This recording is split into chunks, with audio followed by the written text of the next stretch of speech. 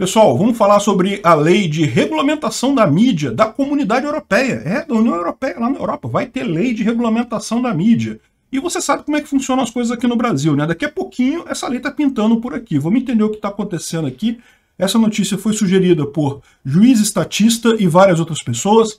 Obrigado aí ao pessoal que sugeriu a notícia. Obrigado a você que está assistindo nosso vídeo. Se você gosta do nosso conteúdo, por favor, deixe o seu like, se inscreva aqui no canal, né? Pois bem, olha que coisa, né? Uh, eu estou falando para vocês que a Europa está virando um comunistão, que a esquerda está tomando conta da Europa completamente lá. É um risco enorme esse tipo de coisa. A Comissão Europeia apresenta um projeto de lei para regulamentar a mídia. É o sonho do Lula. O Lula quer fazer isso aqui no Brasil. E vocês sabem como é que funciona esse tipo de coisa aqui no Brasil. O que o Brasil mais gosta de fazer é copiar a lei idiota de outros países. Ah, os Estados Unidos, os socialistas americanos fizeram uma lei horrível para alguma coisa. Aí o pessoal aqui no Brasil copia a lei. Ah, os comunistões europeus, lá, os comunistas europeus fizeram uma lei tenebrosa para tratar um assunto. Aí vem aqui os deputados brasileiros, copia a lei e implementa aqui. Mesmo a gente sendo um país muito mais pobre, um país com um monte de outros desafios, muito antes dos desafios que o pessoal na Europa e Estados Unidos estão fazendo, mas o pessoal aqui adora adora copiar a lei e colocar aqui do mesmo jeito. É isso aí, bate no peito e fala que é comunista mesmo. Então, vamos ver como é que é a lei, porque é, a preocupação é essa. Mas, é, que alguém vai sugerir isso aqui no Brasil, você pode ter certeza que vai. Se o Lula ganhar, eu acho que o Lula não ganha essa eleição, tá? Mas se o Lula ganhar, você pode ter certeza. Ele já falou que vai regulamentar a mídia.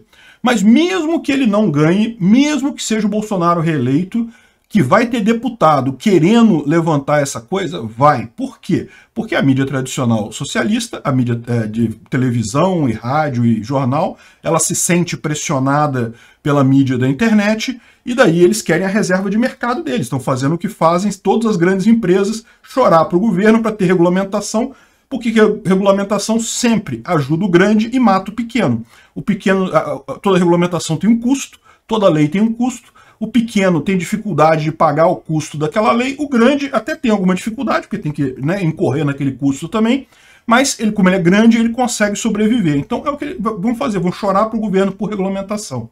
É isso que a gente vê aqui. Ó. Aí, olha só, vamos ver o que, que tem nesse European Media, Media Freedom Act. É, é o que eu falo, é igual é, é nome de país que tem popular democrático, né? República Popular Democrática da Coreia do Norte. Você sabe que é uma ditadura violenta é, Media Freedom Act, é, ato de é, liberdade de imprensa. Você pode saber, amigo,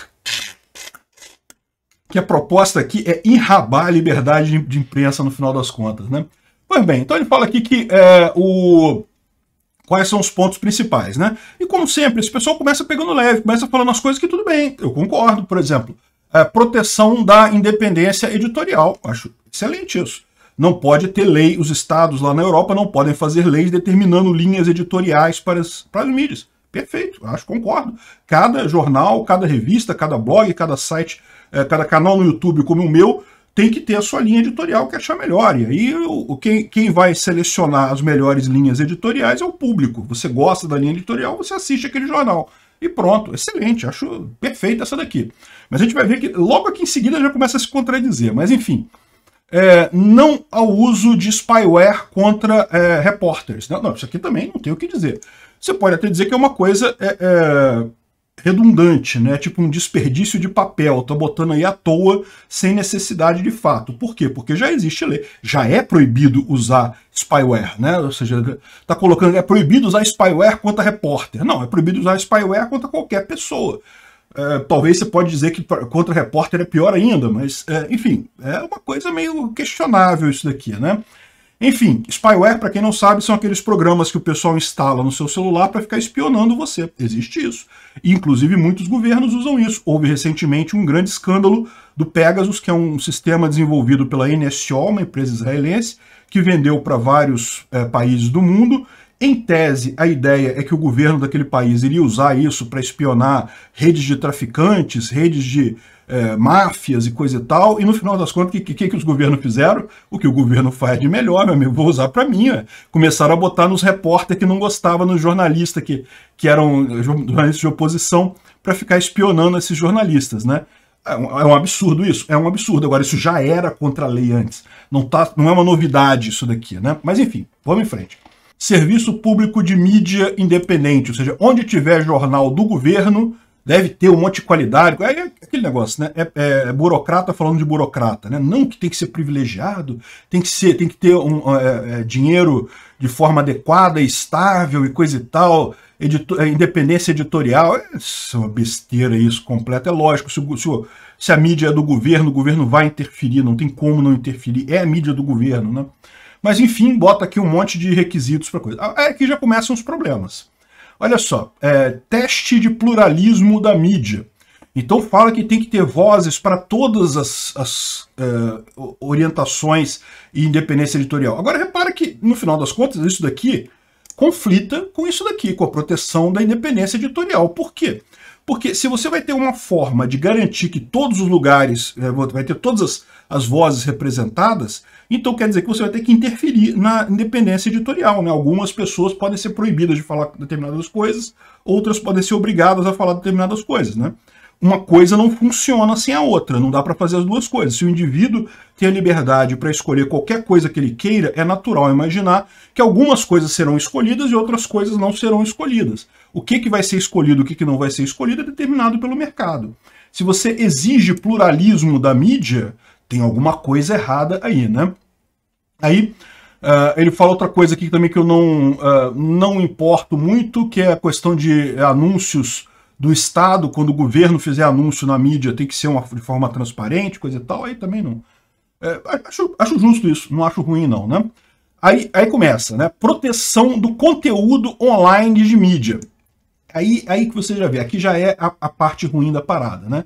Porque fala que, olha só, começa, começa até falando assim, não, que a ideia é ter garantias contra remoção injustificadas de conteúdo produzido de acordo com é, padrões é, é, profissionais, né? Então, não sei que Agora, em casos não envolvendo riscos sistêmicos, desinformação e coisa e tal, eles não podem tirar o seu conteúdo. Olha, olha o que, que ele está falando. Ele está falando o contrário, ele está usando a língua do não. Né? Ele está falando assim, não, ele não pode tirar o seu conteúdo se não for desinformação. O que ele está dizendo é, vai ter que ter gente para vigiar o seu conteúdo, se for desinformação, vai tirar. Né? O que ele está falando, é negativo da negativa é positivo. E aí ele, ele vai mais aqui, ele fala que vai ter um European, vai ter aqui um European Board for Media Services, que é o European Watchdog for Media Freedom. O que, que eles vão fazer? Ah, adivinha? É o Ministério da Verdade. É louco. Cara, como é que o George Orwell viu isso lá atrás, né, gente? Que coisa impressionante. 1974 descrito na cara, né? Vamos fazer aqui o, o, chamam de European Board for Media Services, vai ser o, o, Ministério da Verdade lá. Eles vão dizer o que pode e o que não pode de desinformação, né? Então, seja, o que eles estão dizendo aqui é isso, né? as plataformas têm que fazer isso, é, é, elas não, que, que fala que não, as plataformas não podem derrubar o que não for desinformação. Mas é lógico, o que está implicado aqui, o que está implícito é que elas têm que derrubar o que for desinformação, né?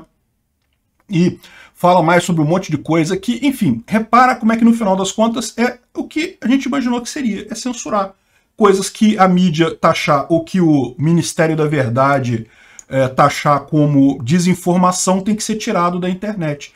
Olha que coisa, olha que maravilha, que ferramenta linda para políticos que querem oprimir o povo. Ah, não, isso aí você não pode falar não, porque isso daí é desinformação. Está proibido, tem que tirar de todas as plataformas. E eles ainda têm aqui um outro, um outro uh, uh, caso aqui de também de desinformação, que uma, uma outra regulamentação de desinformação, que ele fala mais um monte de coisa aqui sobre o que, que é desinformação, como tirar as coisas de lá, o que, que vai ser feito para verificar e coisa e tal.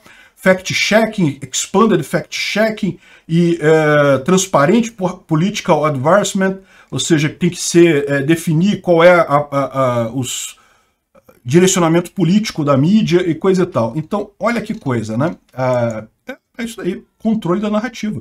Eles vão tentar implementar isso. É inútil, tá? É aquilo que eu falo para vocês. Esses projetos de censura na internet são inúteis. Por quê?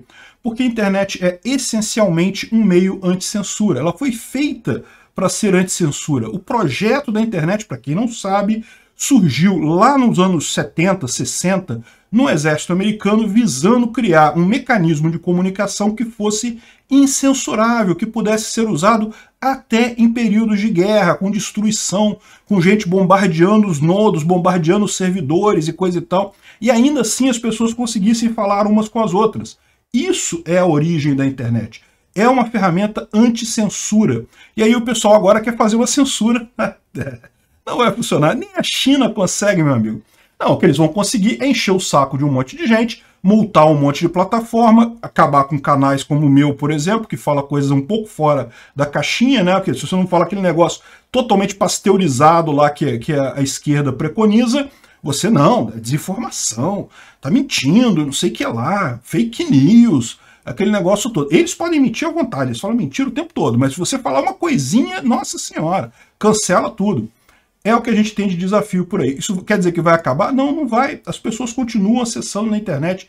É, vocês sabem, eu faço vídeos lá no Rumble para a gente ter uma duplicidade. E se o Rumble cair também, eu tenho vídeos no Odyssey, no BitChute. E se for necessário, meu amigo, a gente cria um canal na Deep Web para falar. Não tem essa, não. Vamos estar tá falando aqui sempre, não importa o que o governo fizer. E é, é, o que acontece na China, é o que acontece em vários outros lugares. Né? É um absurdo ter esse tipo de lei. É uma lei que só ajuda grandes é, é, impérios de mídia, grandes empresas de mídia que estão morrendo porque ninguém mais quer escutar aquele negócio. É um lixo a informação das grandes empresas de mídia. E, é, no final das contas, prejudica essa, esse grande mercado que está surgindo, que é a informação descentralizada e distribuída. Deviam ter uma abordagem totalmente diferente, simplesmente é, punir as grandes empresas pelas fake news delas, muito mais do que a, a mídia descentralizada, justamente para elas falirem logo e, e darem espaço para o futuro. Obrigado por assistir o vídeo até o final. Além de curtir, compartilhar e se inscrever no canal, considere se tornar patrocinador com valores a partir de R$ 1,99 clique no botão Seja Membro abaixo para saber as condições e vantagens de patrocinar o canal. Mais informações sobre o nosso projeto, visite nossos sites indicados na tela.